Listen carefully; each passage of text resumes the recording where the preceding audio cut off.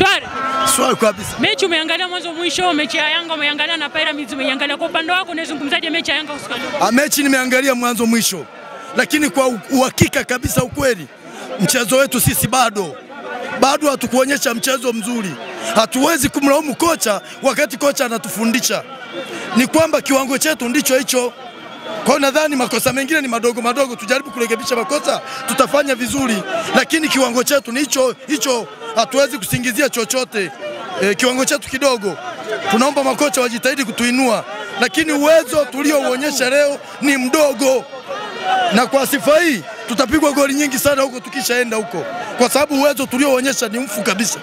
Tunamtegemea Kevin Yondani ana kadi nyekundu, tunaenda kula kumi kule, ndio ukweli huo. Kwa mimi naomba tu Watanzania wenzangu, hasa wanayanga, tujitahidi tu kuhamasisha timu yetu. Kwanza tumeonekana tumefungwa mpaka washabiki, tumepooza mno, hata, hata ile morali ya kushabikia hatukuwa nayo. Kwa hiyo tumepigwa nje na ndani.